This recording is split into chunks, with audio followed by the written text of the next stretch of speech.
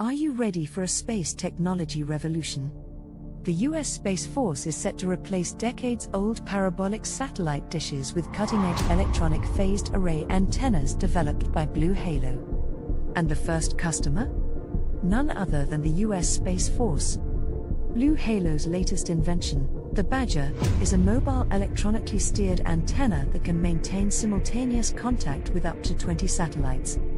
This game changing technology is now in development and will be manufactured at a new facility in Albuquerque, New Mexico. But that's not all. The Satellite Communications Augmentation Resource Program, SCAR, is an eight year initiative to modernize the Satellite Control Network, SCN. So get ready to say goodbye to outdated parabolic antennas and hello to the future of space communication. This is Dark Space, signing.